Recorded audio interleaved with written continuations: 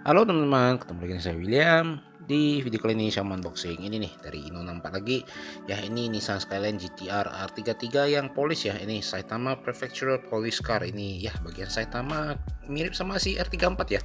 Ada juga R32 nya nah ini R32 nya beda region ya. Ini region Kanagawa. Kanagawa Kinki Japanese Police Car. Nih ya R32 terus R34 nya nah R34 nya juga Saitama ya. Tapi Saitama Kenkei Japanese Police Car. Tapi tulisannya ya kalau Saitama sama Kanagawa beda ya. Jadi yang ini tulisannya sama sih sama-sama daerah Saitama ya. Jadi tulisan Jepangnya sama sih.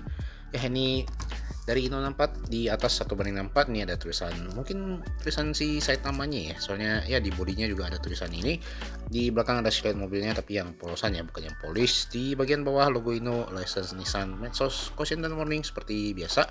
Langsung kita bukain aja ya kalau kalian kumpulin si GTR polish ya dari Ino ada R32 dan R34 mungkin kalau R35 di TLVN kali ya. Di TLVN kayaknya ada yang R35 di era car juga ada tapi ya era car dibanding sama TLVN ya pasti bagus TLVN sih. Kalau mini GT itu dengan body kit Liberty Walk ya kalau nggak salah ya. Jadi ya itu bukan mobil polisi ori sih. Jadi ini kan ori ya tanpa body kit dan mobil standar lah ya istilahnya ya. Kalau mini GT kan R35 nya itu nggak standar. TLVN sih yang standar ya. TLVN ada R35 nya kalau nggak salah. Kalau untuk mobil-mobil lainnya mobil polis banyak sih tapi kayaknya paling banyak varian di TLVN nya sih. Kalau kalian temen ya koleksi polis juga banyak sih ya variannya ya. Ini langsung kita lihat detailnya aja Oke untuk detail lampu depannya seperti varian R33 lain ini depannya juga dari Mika ya seperti biasa. Dari Mika nih logo GTR nya kok miring sih. Ini ya sedikit miring logo GTR-nya ini ada logo kayaknya bunga sakuranya si polisi ya di atas ini kap mesinnya. Ini saya masih kurang tahu ya sampai sekarang ini apa ya? Belum pernah browsing juga kayak penahan apa gitu ya. Tapi ini dari Mika transparan bisa dilihat ini bagian bawahnya fog lamp seperti yang biasa juga cuman dicat. Ini ada kayak lampu rotator gitu ya. Kayak blitz gitu atau gimana sih yang ini di bawah juga. Cuman dicat ini license plate nya ini ya blitz warna merahnya di sini.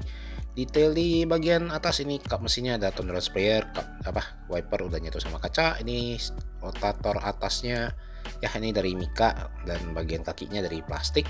Ini ada antenanya juga hati-hati kesenggol patah nomor unitnya ini 854 untuk detail sebelah kiri ini ada lampu sign ada logo GT seperti GTR R33 biasanya ya. Ini ada tulisan si Saitamanya sih ini ada detail.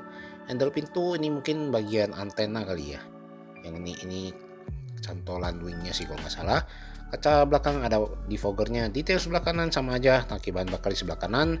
Wing belakang ini harusnya dari plastik jadi kayaknya tulisan Saitamanya sih ya sama kayak di body di bagian belakang ada lampu rem nih dikal ada di, tulisan polis. Ini kalau nggak salah logo Nissan ya logo Nissan yang lama dan ada kecil sih Nissannya. Kalau yang sekarang kan ada buletan terus di tengahnya Nissan lebih gede. Tapi yang lama kalau nggak salah Nissannya lebih kecil. Jadi ya ini logo lama sih ini ada logo GTR nya juga. Ini V-spec di sini. Lampu belakang ini dari Mika nih. Bagian bawah cuma dicat ada tulisan skyline nya juga. License plate sama seperti di depan untuk sasisnya sendiri. Ya ini sasisnya dari diecast ban karet itu pasti. Dan ini sepertinya rolling ya? Ya rolling sih cuman ada kayak nyangkut gimana gitu ya. Untuk interiornya sendiri ini setir kanan detailnya cuman hitam polos. Paling detail speedometer doang ya ya hitam polos. Kalau kalian teman ini di marketplace juga masih ada. Ya nggak seberapa laku sih. Entah kenapa R33 ini ya nggak seberapa laku. Nih spionnya dari plastik ada reflektornya seperti biasa. Yang sekarang R34 nya ya R34 nya juga masih ada di marketplace tapi harganya sudah naik. R32 kayaknya di marketplace sudah hilang ya. Jadi yang nyari R32 udah rada susah sih kalau kalian mau lengkapin varian polish GTR dari Ino ya tiga inilah. Ya paling itu aja deh untuk video kali ini. Terima kasih banget sudah nonton. Jangan lupa subscribe dan kita ketemu lagi di video selanjutnya. Doh